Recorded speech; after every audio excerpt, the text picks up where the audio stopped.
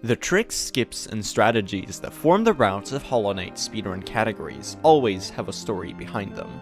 As a longtime speedrunner of the game myself, nothing fascinates me more than that gradual process of discovery, understanding, and implementation, the ever-going cycle that is constantly pushing every category just a little bit closer to its limits.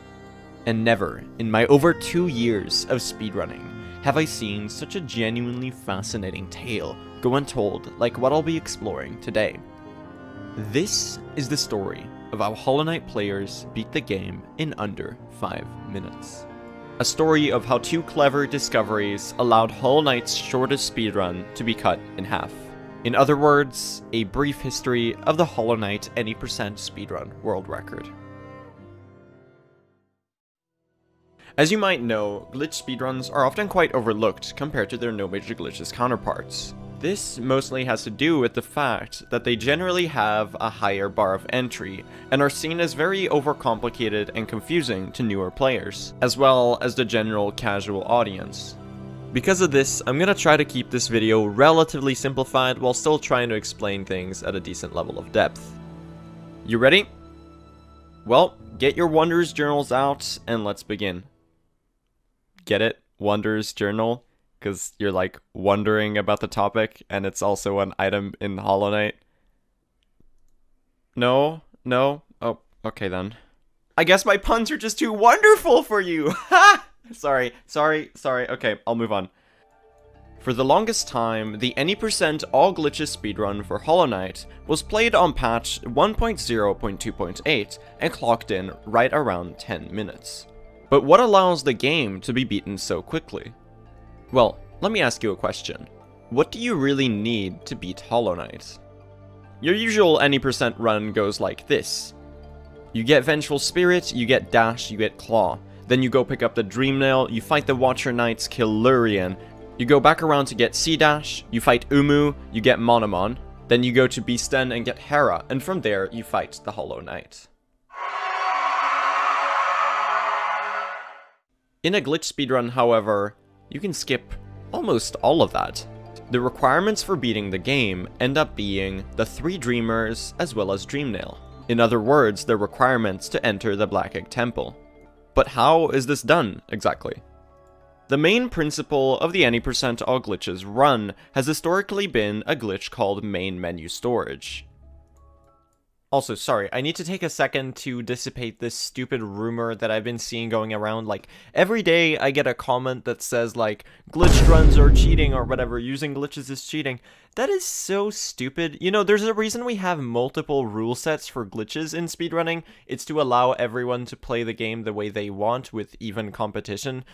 Uh, it just annoys me a lot that people would go and completely invalidate someone else's achievement, someone else's hard work, by saying stupid shit like this. And you know what? If people who think glitches are cheating for whatever reason uh, want to go in my comments and complain, then honestly, just do that. I don't really care. I, I guess you're giving me more engagement, so well played. Also, I just want to point out that glitched runs are often so much harder than no major glitches runs, so what are you even talking about, honestly? Yeah, sorry for interrupting the video, let's move on. Main menu storage, or MMS, is a glitch of the storage subcategory. Storage glitches are glitches where you manipulate the 0 to 1 values of your player states. For example, a state such as being grounded, having control of your character, having your inventory open, or being submerged in liquid. Main menu storage, as it sounds, allows you to store the main menu itself on top of the game or on top of itself. With main menu storage, you can launch multiple save files on top of each other, which causes a variety of strange things to happen. It allows you to merge save files, move progression between save files, keep multiple bench hard save points to teleport to, dupe rooms on top of each other, the list goes on. Main menu storage is by far the most broken glitch in Hollow Knight. So broken, in fact, that when it was discovered, the old All Glitches rule set had to be broken into two. One called No Main Menu Storage, where it is not allowed, and one called All Glitches, where it is. But how does main menu storage work in practice? Up until late 2021, the main practical use of main menu storage had to do with keeping multiple bench heart saves at once, as well as duplicating dreamers. In Hollow Knight, the amount of Dreamers you need to open the Black Egg Temple is counted as a value from 1 to 3. The game doesn't discern between the Dreamers as individuals, as long as you have 3, then you're good to go. Because of this, you can get the same Dreamer on 3 separate save files and main menu storage merge them together into one big pile.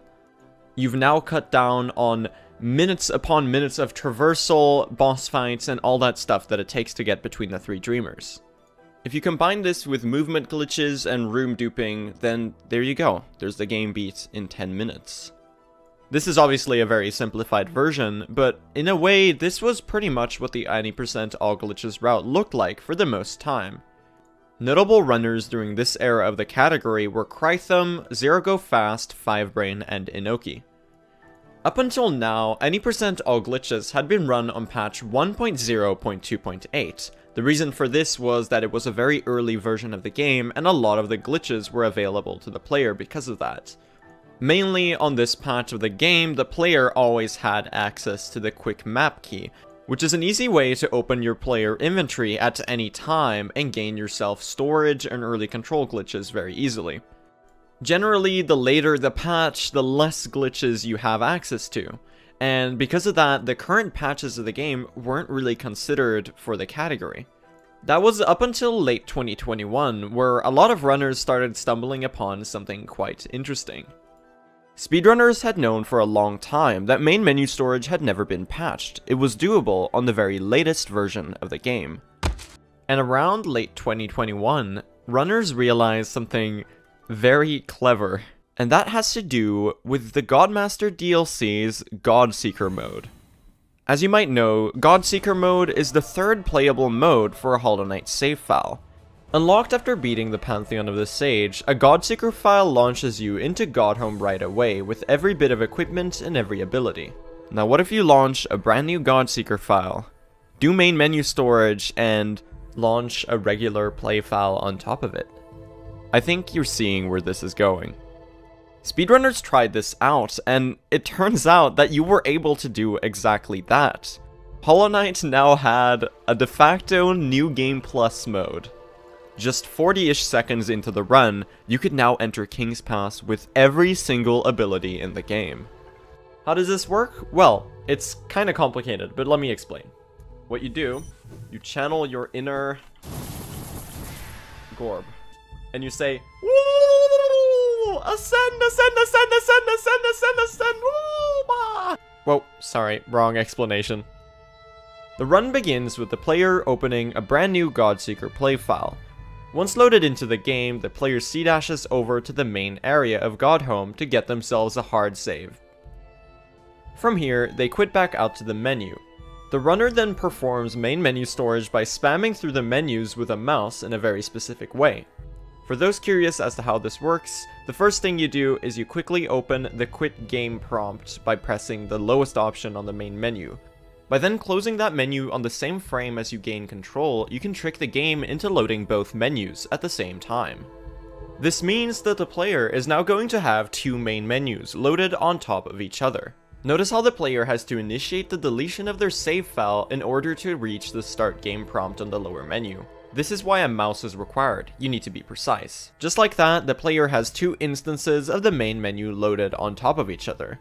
From here, they open their recently created Godhome file and follow it up with creating a brand new save file on the second instance of the menu. So you do it like this. Notice how the mode select window appears right as the game fades to black. It's a little bit hard to see, but if you squint, you can barely make it out. That is when the second save file is created. The knight loads into Godhome on the bench they were hard saved to, and then, just like that, the beginning cutscene of the game plays. Once all of the opening cutscenes are done, the knight loads into King's Pass with every ability of the game, as well as two nifty glitches. No clip and bench storage. These two glitches are attained because you didn't actually finish leaving the bench. You now have control of your character while the game thinks you're still sitting on a bench, hence collision isn't triggered and you can open your inventory and equip charms whenever you want. The runners obviously take use of this in multiple parts of this run. There are some really interesting properties to a Godseeker file once you get out into Hallownest. In the Godhome file, Team Cherry deactivated things such as picking up Geo because it is just not relevant to Godhome. When you walk over a drop piece of Geo, the player will collect the Geo without removing it from the ground, allowing you to infinitely duplicate Geo. This is useful in the run for one thing, opening the Crossroads Stag Station, which will be very, very useful later and not for the reason you're guessing. So, in short, the discovery of Godhome main menu storage allows the player to create a de facto new game plus save file only 40 seconds into the run. This led to a completely new route for the All Glitches speedrun. It was now run on the very latest version of the game, and wasn't that glitched. You see, the reason glitch speedrunners often downpatch to older versions of the game is so that they can have access to more glitches. Team Cherry has patched a lot of the glitches that speedrunners use over the years, and compared to patch 1028, the run is essentially glitchless. The run now boiled down to doing main menu storage in Godhome at the start of the run, and then using float and noclip to travel around Hallownest and get the three dreamers. By the time they reach the Hollow Knight at the end, the runner just equips the fastest, most powerful nail build and whacks the THK to death. This completely different route only ended up being marginally faster than the old route, but it was a lot easier and more consistent. However, this new discovery led to a surge in activity of the category, and the world record competition ended up being a three-way between Krythom, Staxis, and Fivebrane all of whom did runs over the next few weeks. Staxis ended up on top, landing a 9 minute and 12 second time, which was at the time 24 seconds faster than what was able to be attained with the older route. Another few months went on with almost no competition in the category, and right then was when the second discovery shook this category. Speedrunner Marcy August was messing around on stream on the 13th of January 2022, and that was when she discovered something quite interesting. While messing around with a stag station, she was able to get control of her character while selecting a stag. While messing around with this further, she left the room while having this early control, and... Marcy August had discovered a way to do room duping on the current patch of the game. Since the old strategy for room duping had been patched years earlier, runners had been looking for a way to do this for quite a while. Now, room duping is quite a complicated subject, so I'm gonna take a little while to go through it in detail here.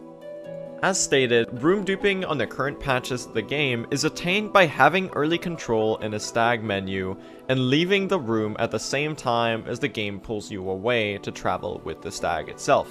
You've now entered two transitions at the same time, which triggers the game to load both of the next two rooms on top of each other, connected at the bottom left corner of each room. Now, like I said, the main reason to duplicate rooms is to give yourself the ability to duplicate the Dreamers, which saves you minutes upon minutes of travel time between Herrah, Lurien, and Monomon. But perhaps the most interesting part of this is that you can actually save time on travel to the first Dreamer as well as opposed to just traveling through the rooms normally, or, well, not normally since you have no clip, but that's besides the point. Now this may be a little bit tricky to wrap your head around, but I'm gonna try to explain the mechanics of room duping in Hollow Knight. And the best way to do this is to give you a feasible example from the run itself. In the any percent all glitches speedrun, the runner gains the room dupe state from the Crossroads Stag, in other words, they open the stag, give themselves control while interacting with it, travel to Dirtmouth, and then leave the room at the same time. The runner has now duplicated the Dirtmouth stag room with the room outside of the stag station. Now, I know this is a bit confusing, but just try to think of the map and which transitions they're traveling to. The map works the exact same way and you end up in the correct places. From here, the fastest way to get to Monomon, which is a dreamer they'll be attaining, is to go through the Crossroads False Knight room. The runners use a full dash build, as well as float and no-clip to move through the room quickly. The only things that can interact with the player are hazards and the room transitions. Once the player has traveled through this transition, the oldest loaded room will be replaced with the new room. Once they enter the next room, the rooms that are loaded are the Crossroads Guard Corridor as well as the Dirtmouth Stag Station. Now here comes the clever part. Traveling through this long room is going to take quite a bit, even with the full build that they have available to them. So what they can do instead is travel back through the same transition. This replaces the Dirtmouth Stag room, which is the oldest loaded room, with the previous Crossroads room, and most importantly, the runner is entering that room from the left. Here's a clip by Fivebrane, a top glitched runner, where he explains this. And we come in here. So the load we want to hit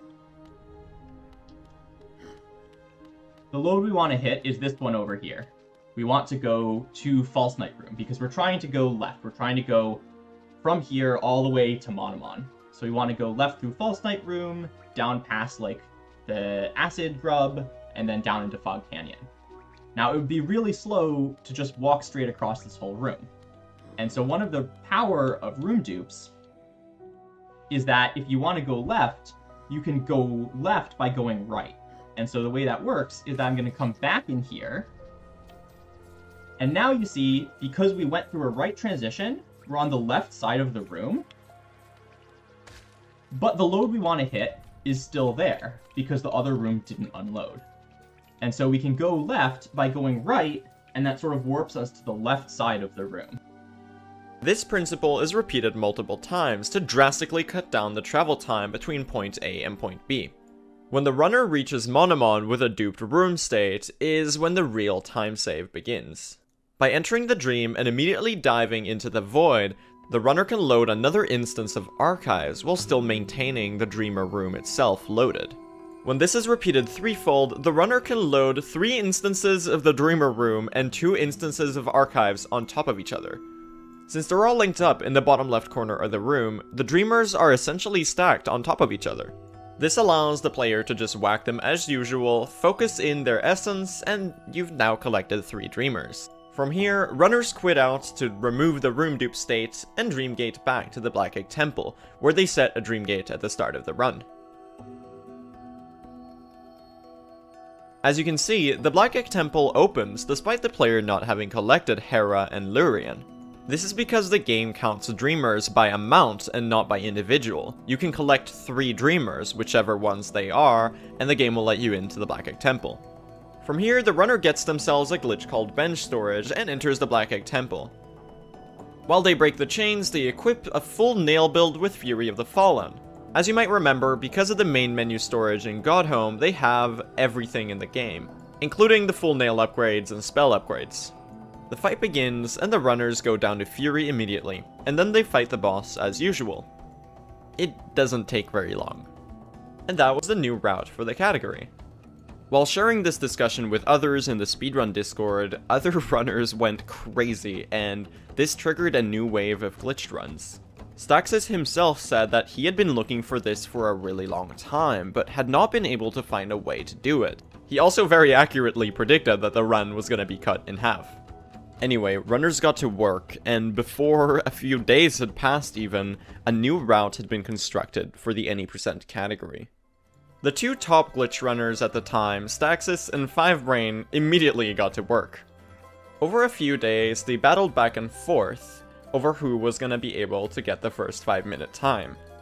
On January 17th of 2022, Staxis was the first runner to break the 5 minute barrier pulling off a run of 4 minutes, 44 seconds, and 550 milliseconds. Closely after, Five achieved this as well, and the runners went back and forth a little bit longer.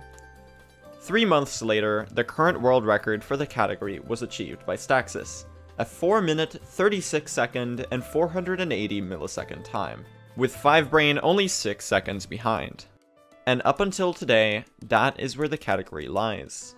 But who knows, maybe a new massive discovery is gonna shake the category, just like it's done multiple times in the past. Personally, I find it absolutely remarkable that a complicated, giant game like Hollow Knight can be beaten in so quickly as 5 minutes. It is shocking. And ever since January of this year, I've been absolutely fascinated with this story. So before this video ends, I want to give a massive shout out to glitched runners like Marcy August, Fivebrane, Staxis, Krythom, Inoki, etc, etc. A lot of these people helped me out with research and helped me with the questions I had. And they don't get nearly enough praise for their massive achievements in Hollow Knight. Also, lastly, I want to say that I'm sorry that I haven't been uploading, like, at all. I've been trying to do a video per month, but, well, the Fluke video was like four months ago, and I've been super burned out and tired. I started the Swedish equivalent of high school, and it's been stressful and stuff like that. So, I'm hoping to have the energy to work on more video stuff. I've been getting a lot of good ideas for videos, but I just haven't had the energy to do them. So, uh, bear with me. A new video soon. I don't know. Thank you for watching, though. No. No, I must resist. I must resist. No! I will do the Blue SR hand reveal at 100k subs.